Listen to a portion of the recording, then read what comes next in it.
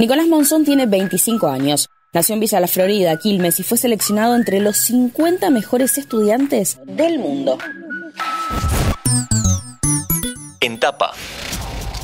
Nicolás fue elegido junto a otro argentino para la segunda edición del Global Student Prize, cuyo premio es de 100 mil dólares. Es estudiante, sí, pero no de una sola carrera. Cursa nada menos que tres. Ingeniería en informática, licenciatura en ciencias matemáticas y licenciatura en ciencias físicas. Además, es cofundador de Magneter, una empresa que creó junto a otros compañeros de la facultad que busca potenciar a distintas empresas que tengan soluciones para la sociedad. Su historia es el reflejo exacto de la perseverancia. En ese camino, la educación y los maestros fueron fundamentales. La verdad que tuve algunos profesores que me acompañaron un montón. Gabriela con, por ejemplo, que en las clases a veces se queda explicándome algunas cosas que no eran de la materia, pero que a mí me encantaban.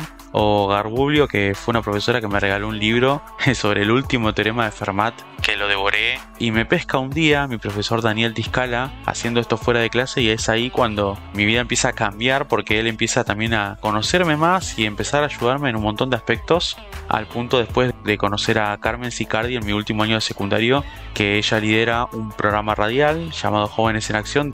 Fue ahí cuando conocí que había un sistema de becas para postularme en WADE. Pero su interés por la matemática surgió mucho antes. Desde muy chico tengo la vocación por las matemáticas porque es algo que siempre me encantó. Y es más, te diría que los pocos recuerdos que tengo de cuando tenía 4 o 5 años, que uno se los va olvidando con la edad, los pocos que recuerdo siempre involucran algo relacionado con las matemáticas. Y ya un poco más grande, ya a los 9 años, tuve un suceso importante que fue que, bueno, mi abuela me regaló un libro de matemáticas que hacía un repaso a nivel general de todo lo que se ve en la secundaria y, y era toda matemática nueva para mí. Y en mi curiosidad, obviamente, yo me devoré ese libro. Tenía alguna que otras cosas que me, me, hacían pensar un montón y tardé esos tres años en poder entenderlo por completo. Pero después me ayudó un montón porque una vez estando en la secundaria pude disfrutar mucho más. En 2003 su papá perdió el trabajo y tuvo que dedicarse a cartonear durante dos años. Pero su familia siempre impulsó que él siguiera estudiando. En el último año de la secundaria, Nicolás tuvo su primer trabajo, pero la experiencia fue complicada. Sobre mi primera experiencia laboral no fue todo color de rosas, por así decirlo. Fue en el último año de secundario, fue básicamente vendiendo medias en la feria de Solano los días sábados y me acuerdo que en la feria de Monteverde los días domingos. Y me acuerdo que el punto de inflexión fue cuando tuve que dejar eso porque obviamente yo sentía el compromiso, ¿no? Si bien no era el mejor trabajo, yo sentía ese compromiso de quiero cumplir con esto. Y fue cuando me tuve que postular a WADE, pero tenía que faltar un día específico al trabajo y dije, le dije a la persona que me tenía a cargo en ese momento y me dijo que si faltaba, lamentablemente no podíamos continuar. Y la verdad fue en ese momento lo sentí como algo difícil, pero bueno, decidí avanzar Finalmente Nicolás ganó la beca para estudiar en la UADE. La conversación que tuvo con sus papás no fue fácil al inicio.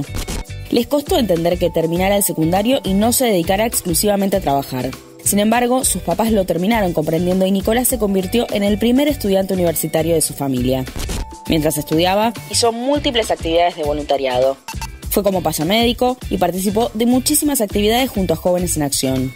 Hoy, Nicolás no puede creer lo que vive, pero sigue pensando en hacer actividades solidarias.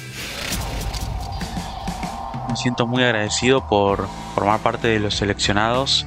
La verdad que es, eh, para mí es literalmente un honor porque hay muchísimos otros candidatos que son increíbles, que tienen un montón de proyectos hermosos.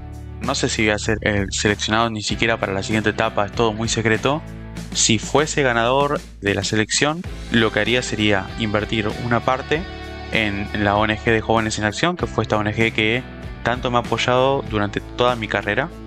Y la otra parte lo que haría sería usarla en invertir en estos proyectos que son de impacto para la sociedad y con esto podría ser un cambio real y se podrían llevar a cabo. Nicolás es ejemplo de perseverancia y por eso no es casualidad que hoy sea uno de los mejores 50 estudiantes del mundo. Mi nombre es Agustina Girón y nos vemos en el próximo episodio de Entapa. Antes de deslizar para continuar con tus podcasts favoritos, seguí a Interés General en nuestro perfil de Spotify.